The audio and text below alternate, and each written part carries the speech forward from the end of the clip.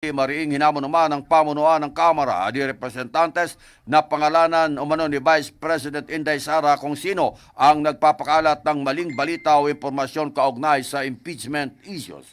Magugunitang ipinahayag ng Vice Presidente na sinabihan umano siya ng mga kaibigan sa House of Representatives single sa umano'y nilulutong impeachment laban sa kanya. Samantala, itinanggi naman ng mga mababatas ang isyong impeachment laban kay Vice President Sara Duterte.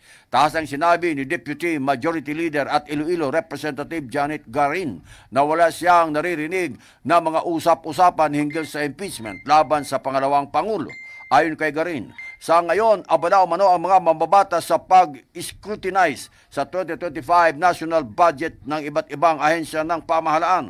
Kaugnay nito, naghamon naman si La Union uh, Representative Paulo Ortega na pangalanan umano ng Vice President kung sino sa mga kaibigan nito sa Kamara na nagsasabi na siya umano ay impeach na sa gayon umano mabatid kung ang mga ito umano ay may pansariling interest. Sinabi naman ni Lanao del Sur Representative Zia Alonto Adjong, tuldukan na ang isyong impeachment dahil wala naman itong katotohanan at ito'y counterproductive. MH, Balita ng Bansa.